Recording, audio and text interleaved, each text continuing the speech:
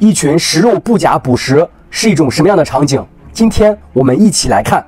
在之前视频中，我制作了群养一不假的饲养缸。这几天过去了，我们来看一下，坚硬的红土被他们挖成了这个样子，太能造了。他们把土挖了个坑，然后一群聚集在一起，躲在坑里。这只樱桃蟑螂竟然没有事儿，除了有点风尘仆仆之外，安然无恙呀，有点想不通。好了，不管了，我拿来一只蚂蚱。直接放进去。蚂蚱进去之后，布甲们没有注意到它，大家都各忙各的。蚂蚱却慢慢的在向布甲的中心靠近。这只蚂蚱跑到了一群布甲中间。突然，其中一只布甲咬住了蚂蚱。哦，不是两只。布甲把蚂蚱摁在地上。我们靠近看一下，这只布甲咬住了蚂蚱的脖子，蚂蚱的嘴巴还在动。害怕其他布甲来抢食物，这只布甲带着蚂蚱赶紧就跑了。他极力地把蚂蚱举起来，不想让别的布甲咬到。虽然他小心行事，但是蚂蚱的味道吸引来了其他布甲，而且越来越多。毕竟这是一群肉食性布甲，闻到肉的味道，它们都会聚集而来。然而是我低估了这只布甲保护它食物的决心。他把蚂蚱高高举起，让其他布甲咬不到，然后左右晃一下，突然加速，带着蚂蚱离开了人群。来到一个空旷的角落，正准备享用美食呢，但是其他布甲如影随形，依然跟了过来，也不打算放弃。他们这是耗上了。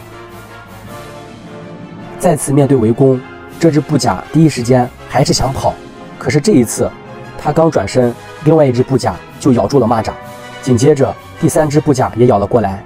这一下，这只食物他是带不走了，也不可能一个人独享了。附近的这几只布甲。全部冲了上去，都咬住了蚂蚱。这群肉食性布甲非常的凶，虽然它们是群养，但是它们的凶猛程度丝毫不减。它们从各个角度把蚂蚱围在中间，就像一个球形一样。蚂蚱虽然也在反抗，但是它的力量和一群肉食性布甲比起来，差距就太大了。远处的收到消息慢的布甲们都在往这里赶。在这一点上，群养布甲和群养蚂蚁倒是有相似之处。此时，这群布甲。把蚂蚱围成了一个球形，拍了这么多期视频，这个场面还是让我有点震撼。慢慢的，饲养盒里边所有的布甲都去吃这只蚂蚱了，除了樱桃蟑螂。这个角度看得比较清楚，他们把蚂蚱围在中间。慢慢的，这个球形结构分成了两块，应该是蚂蚱被他们分开了。这几个在吃一小部分。而这一群在吃更大的部分。伊布甲的嘴巴特别厉害，大家应该还记得我之前拍过骆驼蜘蛛和伊布甲的视频。就是因为它们的撕咬能力很强，所以才过一会儿，这个大球又再次分化。它们从最初的抱团模式，慢慢的变成了各自为战的混战模式。蚂蚱被它们分成了好多块，布甲们三三两两的围在一起享用。当然也有特别的，你像这一只。他自己一个人享用，这种家伙就是比较喜欢吃独食，没有团队协作意识。这边的几只还在争抢，我感觉都没有什么东西了，他们还在抢。而这边相对来说就和谐一些，大家都在进食。随着食物被碎片化，两两之间的争斗变得越来越多。我觉得这是一个很有意思的现象。他们平时住在一起，一起挖洞。一起休息，彼此玩耍，但是遇到食物的时候却彼此争抢，毫不留情。有一些吃东西快的，吃完了自己的就去抢别人的，所以越往后面争斗越激烈。这两只的争斗已经进入了白热化，先是比力量，看谁举得高，然后再比耐力，看谁跑得远。这家伙太有意思了，我是不是眼花了？我看这俩互相搂着。来来回回的走，跟跳舞一样，你们看到没有？像不像？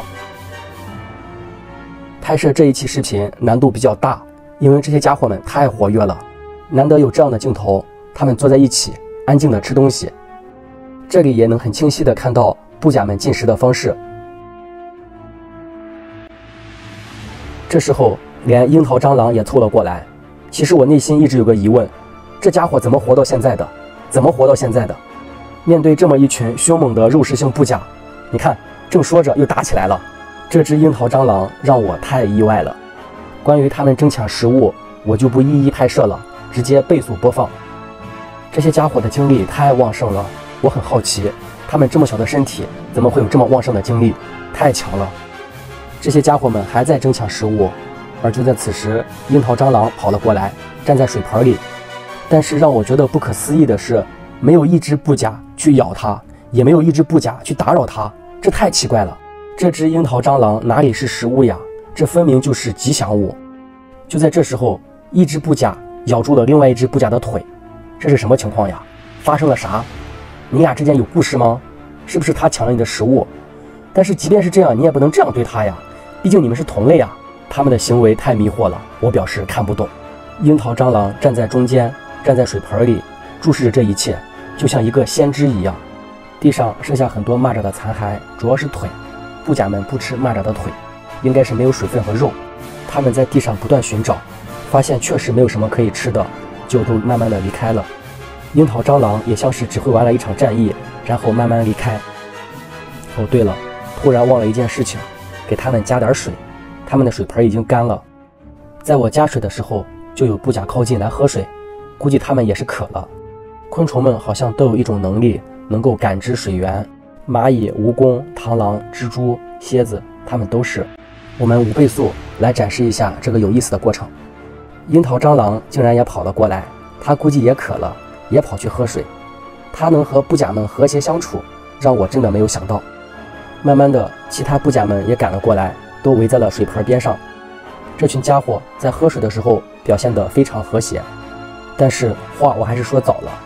你们看这只家伙，竟然踩到了池子里边，感觉非常没有礼貌，很没有素质。好在这家伙很快就走了。大家好，我是康康。如果你也喜欢我的视频，请记得点赞关注我哦。我们下期见。